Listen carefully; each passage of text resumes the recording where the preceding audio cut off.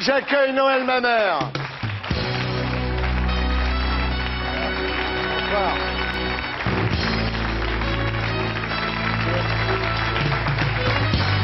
Ça va Ça va, très bien. Noël Mamère, bonsoir. Vous connaissez tout le monde, Anouk Oui, oui. Aimé, Oui, oui, Claude Allègre, Elisabeth Tessier. tout à fait. Il est Capricorne aussi, hein Capricorne, exactement. Tout, c'est incroyable. Vous Comme tout le connaissez le signe de tout le monde comme ça Pas de tout le monde. Ou ma là- mère parce qu'il vous plaît Bah, je trouve qu'il a un comportement assez Capricorne, assez, assez, Ouais, assez ouais. euh, entêté, assez. euh, ouais, C'est un con, quoi, c'est ça que dire. ouais, le, le goût d'une cer- une certaine vérité, de sa vérité à lui, euh, il- Ouais. il, y va. Souvent chez les Capricornes. Ah quoi. oui, oui, le goût Ouais. de la vérité, c'est tout à Ouais. fait typique du Capricorne. Ça ne le met pas toujours en bonne posture, mais. Vous savez qu'il traverse une très mauvaise période en ce moment, Noël. hein. Ah oui? Euh, le maïs transgénique, c'est-à-dire que là, il le tape au portefeuille. hein. Ils lui ont envoyé un huissier. C'est lui qui est fauché maintenant. Ah oui, c'est le, le faucheur fauché. Il vous demande combien, là, l'huissier? 65 012 euros, très Oh, exactement, oh avec les frais de justice. Ouais. 65 012 Mais enfin, c'est pas le problème, c'est pas Ah bah mon si. problème personnel. Attendez, si, parce Attends, on que... est vous- combien? 1, 2, 3. On va partager Non, mais non, sérieux. bon, je, je suis pas venu pour euh, demander l'aumône et je pense que ce serait On faire un mamerton. Oui, t'as raison. Chacun envoie un euro. Moi, je, me- je, je viens ici non pas pour me faire plaindre. Quand Je viens dans Quand même, je, je réponds à 63 000 votre invitation. Je me, de maïs. je ne me considère, oui, Ouais. ça fait cher le grain de maïs, je- j'en j'en disconviens pas. Je ne, suis, je ne me considère pas Et ils s'en prennent qu'à martyr. des mecs qui ont des moustaches, c'est-à-dire vous, Beauvais et le maire. Alors, moi, je ne suis pas venu que- ici comme un martyr, je ne suis pas venu pour me faire plaindre. Quand. Moi, je suis là pour dire que si je désobéis, c'est parce qu'il n'y a pas de loi, c'est parce que les directives européennes ne sont pas respectées depuis euh, 2001, parce qu'il y a des gens qui s'appellent des semenciers, qui ont des intérêts financiers, Bah oui. Qui essaient de nous imposer des OGM dans notre assiette et qui transforment les champs de nos paysans en paillasses de laboratoire. Alors, je sais que certains, qui ici même de cette marques. émission, qui déposent, alors qui, vont plus loin que ça, puisque ça s'appelle le brevetage du vivant. C'est-à-dire que quand ils découvrent un gène, un gène, c'est pas une invention, ça existe.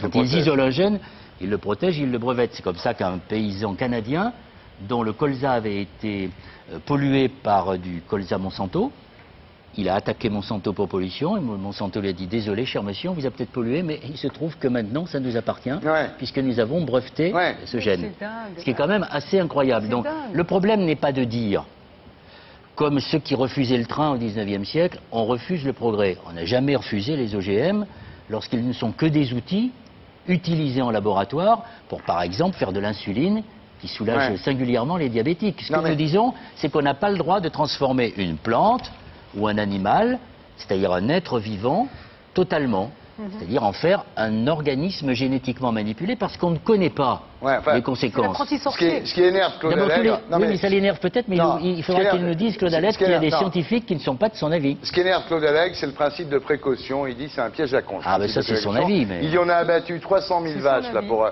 pour la vache folle.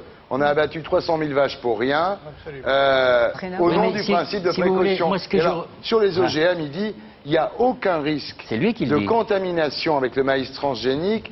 C'est un peu comme avoir peur qu'un chien engrosse une vache. Le colza euh, peut effectivement contaminer les crucifères. C'est pour ça que, moi, quand j'étais ministre, je n'ai pas autorisé euh, la culture du colza transgénique en France. J'ai dit non. Le maïs, il n'y a pas de maïs sauvage. Donc le maïs ne va pas contaminer les salades. Euh, les- les- c'est- comme ça, c'est deux espèces différentes. Par ailleurs, qu'on s'attaque à des problèmes des multinationales, euh, je comprends ça très bien. Mais quand on saccage les expériences des laboratoires publics, De l'INRA. de l'INRA, qui sont précisément là pour apporter de la connaissance qui permettra de ne pas laisser les multinationales faire n'importe quoi, alors là, je ne Ouais. comprends pas. Et ensuite, quand je constate le résultat, parce que le résultat, il est là, nous avions en Europe un certain nombre de semenciers. Ouais. Novartis a abandonné les semences. Aventis a abandonné. Bayer va abandonner. Et il reste Limagrin qui va transporter leur laboratoire de recherche en Argentine. Voilà, il reste. Donc, Et le résultat, c'est qu'on va. Ouais. donner le monopole aux Américains. Si c'est ça le résultat de, de cette espèce de fantasme, parce que c'est un fantasme. Le- le- la peur, du- de, sous prétexte qu'on ne sait pas, c'est pas vrai, on sait. Il y a, il faut savoir que nous avons euh, des comités extrêmement stricts dans lesquels des, des opinions très diverses sont représentées qui contrôlent cela et on ne, on ne permet pas un certain nombre de choses et les Ouais. On ne le en même temps. on le mais il On n'y a pas aucun de recul par mais on a- rapport- Mais non, on a- mais- madame, on n'a aucun recul. Dès que vous inventez quelque chose, vous inventez le couteau, vous avez aucun recul. Non, mais il y a quand même un côté apprenti sorcier dans cette histoire. Je- je ne- Que mangeront nos enfants? Ils vont manger des quoi Des Madame, pilules? madame, je, Oui, ne, je, monsieur. ne, je ne pense pas qu'ils mangent des pilules. Ils vont manger, hélas, des OGM américains et chinois Ouais. euh, et indiens. Et je pense que Claude Allègre fait partie euh, de ces scientifiques qui sont une certaine, un certain intégrisme de la science et qui voudraient nous faire gober que la science c'est forcément le progrès et que quand elle n'est pas, même quand elle n'est pas contrôlée, de toute façon c'est bien. Il oublie simplement de nous dire pour les OGM. Le problème n'est pas de savoir si c'est le colza ou le maïs. Le problème c'est de savoir pourquoi Monsanto, Pionnier, Limagrin et les autres font des OGM. Ils font des Pour OGM pour deux choses. Alors, Ils font des Alors, je vais vous dire pourquoi. D'après- Claude Alex, je dis parce que moi, je Je veux que les téléspectateurs suivent. Alors, ils le font pour éviter les nitrates qui polluent les nappes phréatiques. Ils le font pour aider les plantes à supporter la sécheresse. Ils le font pour améliorer le rendement.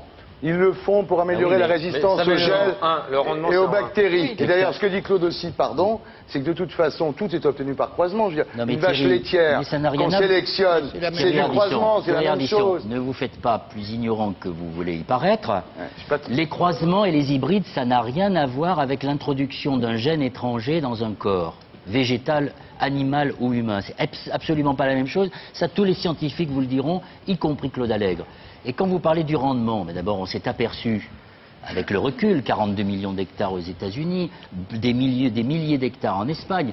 La semaine dernière, au moment où je vous parle, et quand il nous dit qu'il n'y a pas de contamination, il nous prend pour des imbéciles. L'Espagne fait beaucoup d'agriculture biologique. Les agriculteurs bio qui étaient en train de faire une expérimentation sur de l'agriculture bio ont été obligés de brûler des hectares de culture bio qui avaient été contaminés par du transgénique. Pollinisé par les Au- abeilles. ou- En Argentine, on a parlé de la vache folle tout à l'heure. Au moment de la crise de la vache folle, qu'est-ce qu'ont fait les Argentins? Ils se sont lancés à corps perdu dans la culture du soja transgénique que mangent les animaux pour faire de la viande, puisqu'il n'y avait plus de farines animales. Et bien Ouais. aujourd'hui, il y a des millions d'hectares en Argentine qui sont contaminés par ce soja transgénique. Et quand vous mangez de la viande, est-ce qu'on vous dit si ce- la viande que vous mangez a été produite par un animal qui euh, a ingurgité du soja transgénique La réponse c'est non, il n'y a pas de traçabilité. Voilà. Claude. Moi, je voudrais, je voudrais. Non, parce que vous dites c'est des obscurantistes, hein, vous les traitez pratiquement de je, je le pense, je le pense, je le pense, oui. Ouais. Enfin, moi, je ne crois pas que ce soit euh, Monsieur Beauvais, dont le papa est, est un éminent agronome, n'est pas un obscurantiste. Il sait très bien à quoi s'en tenir. C'est simplement une technique euh, euh, politique. Moi, je. C'est pas vrai je- du tout. José Bové vient d'être. José Bové, écoutez, attends. Claude, José Bové a été Bon, enfin, arrêté bien. manu militari jeudi, Ouais. alors qu'il venait de faire ce qu'on appelle une inspection citoyenne chez Monsanto, c'est-à-dire sans rien toucher, sans rien casser, arrêté par des policiers avec des armes, mis, mis en garde à vue, présenté au procureur. Moi, je trouve que ces gens, ils essaient de nous asphyxier financièrement, et en plus, ils trouvent la complicité du gouvernement pour continuer à nous imposer des choses sans Bon. qu'il y ait la moindre information, Claude, sans qu'il y ait la moindre Je- transparence. Je voudrais. Voilà ce que je dis. Moi, je suis je un voudrais, démocrate. je voudrais parler, moi aussi. Bah, pas Et- sur ces questions. Mais si, bien sûr que si. Mais bien sûr que si. Et quant Ça au s'appelle un doute, comportement totalitaire, le comportement des semenciers. Laissez-le parler. Mais je le laisse parler. je ne parle pas des semenciers. Volontiers. Je parle de l'INRA, je parle Mais de. l'INRA je parle des contrats avec les Non, je semenciers. parle, je parle des laboratoires de recherche publique. Je voudrais pouvoir La parler. recherche, les expérimentations en Je, champ. Noël. je voudrais pouvoir parler. Noël, Noël, ça va partir, ça va partir. Je, vais, je voudrais pouvoir parler. Je défends l'expérimentation pour les OGM. Comment la France, aujourd'hui, je vais vous donner un, un- un chiffre. Aujourd'hui, l'un des dangers que je dénonce dans mon livre, c'est le danger d'attaque biologique à l'aide d'organismes euh, euh, de virus génétiquement modifiés. Savez-vous combien il y a de Français qui travaillent aujourd'hui pour combattre éventuellement euh, ce domaine? Il doit y en avoir 40 ou 50. Il y a 1000 Anglais. Il y a, il y a- il y a 20 000 Américains. Pourquoi il n'y a pas de Français? Il n'y a pas de Français parce qu'aujourd'hui, les gens sont terrorisés par ces espèces de- de- de- d'agressions euh, pour travailler sur ces sujets. Le résultat, le résultat des, des affaires, c'est qu'on n'a pas d'experts suffisants pour travailler sur ce problème de guerre biologique. Je vous ai dit que les semences, leur action allait consister à les donner aux Américains. Et tout ça, c'est fait soit par tactique, soit par ignorance. Mais surtout, ça porte quelque chose qui, pour moi, est quelque chose de fondamental. Moi, je regarde l'avenir sans peur.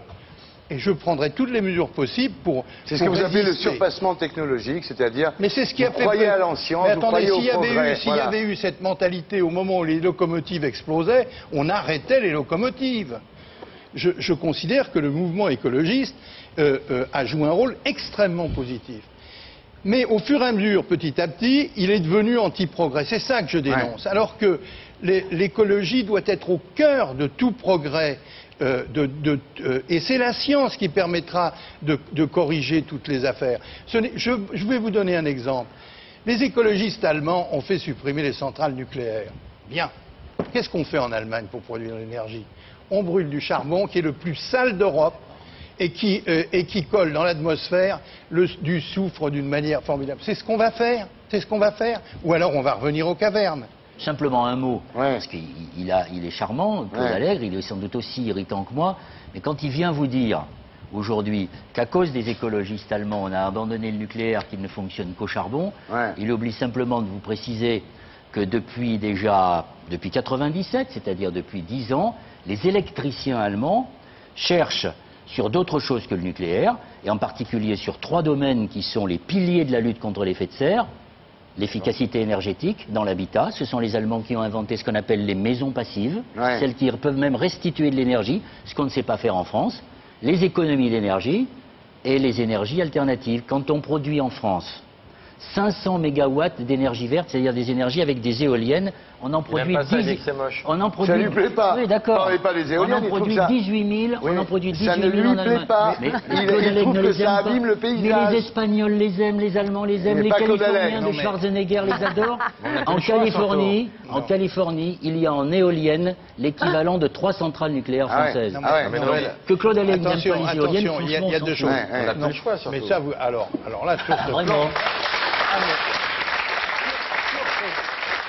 le point, sur le point que j'aime les éoliennes ou pas, c'est un problème secondaire. Je pense simplement que les éoliennes ne résoudront pas. Mais personne n'a dit ça. Mais non, c'est une partie du euh, problème. Non, mais il est comme ça, Claude. Claude, le- le par problème. exemple, Kyoto, Claude, il dit que finalement, c'est pas si grave que ça. Non, c'est si c'est grave pas, que ça, c'est pas la ça. bonne solution. Bah, non, non, écoutez, non. moi je pense que Claude a beaucoup de chance d'être, euh, d'avoir autant Non, de mais je voudrais, je voudrais, je voudrais, je voudrais, je d'être voudrais. aussi sûr de lui. Les économies d'énergie, attendez, les- et les énergies renouvelables, j'ai lancé le programme français il y a, il y a 25 ans de géothermie parce que pour es- essayer précisément de faire, d'utiliser d'autres moyens énergétiques. Donc moi je suis un fanatique de toutes les, de Oui, mais les économies d'énergie. nucléaire, C'est incompatible. Non, je pense que, je pense que pour l'instant, dans l'état actuel, je donne un exemple. Ouais. Oui, là, je dis c'est de l'irresponsabilité. Si on n'avait pas eu le nucléaire, là, là, Ouais. là, bon, eh bien, les impôts de tout le monde auraient augmenté car il fallait dépenser 100 millions d'euros supplémentaires avec l'augmentation de pétrole. C'est tout, c'est comme ça, parce qu'il fallait fabriquer l'électricité. Alors, les économies d'énergie, c'est Quoi, c'est c'est pas vrai possible, mais c'est oui, pas c'est vrai. vrai. 75% de l'électricité vient du nucléaire Du et non pas du pétrole. Et les Eh bien, camions, ils c'est roulent pas au nucléaire, ils roulent au pétrole. Non, Donc on pourrait 75% multiplier par 10 d'énergie. le nombre de programmes de centrales nucléaires qu'il faudrait toujours lutter contre l'effet de serre, même si les centrales nucléaires ne produisent pas l'effet de serre, mais des déchets radioactifs qui peuvent durer des millions d'années et dont on ne sait que faire. consommation- la Et- Et, donc consommation- c'est pas le- pas le nucléaire qui fait avancer les camions et les bagnoles, Ouais. c'est le pétrole. Donc c'est pas le problème. Le problème, c'est de se dire Non. comment on diversifie nos sources énergétiques. attends, euh, et aujourd'hui, on je met peux tout dire, l'argent non, euh, là alors, euh, excuse-moi, mais euh, si on n'avait pas de nucléaire, il faudrait fabriquer de l'électricité avec du pétrole. Tu sembles l'oublier. Il faudrait eu des centrales, Ah, des centrales à fioul, oui, ou au, char- ou à charbon, ou à charbon. Deuxièmement, les la dégagements. mais ça, non, ça la bio- pas. les c'est du, L'hydroélectrique, ça n'existe pas, mais L'hydroélectrique, on a saturé toutes nos rivières. Euh, euh, on on, on l'utilise, on l'utilise entièrement l'hydroélectrique. Bien. En tous les cas, il y a un truc, c'est que vous- le, le cannabis est transgénique, vous savez ça. Il peut y en avoir du transgénique, oui, bien sûr. hein. C'est vrai, non? Non, j'en sais rien. Ça, alors vraiment, c'est pas le, c'est pas mon souci essentiel. Bah, c'est le nôtre en tout cas.